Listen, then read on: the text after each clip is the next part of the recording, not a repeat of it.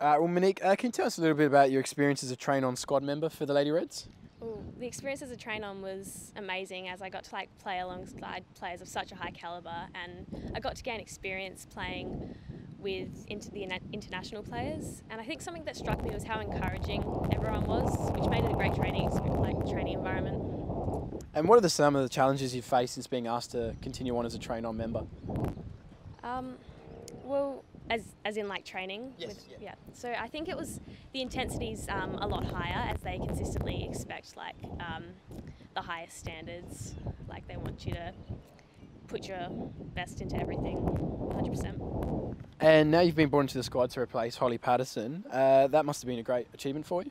Yeah, being signed was amazing. I wasn't expecting it, so I was ecstatic. Um, and I got the email the day before Christmas, so it was like an early Christmas present for me.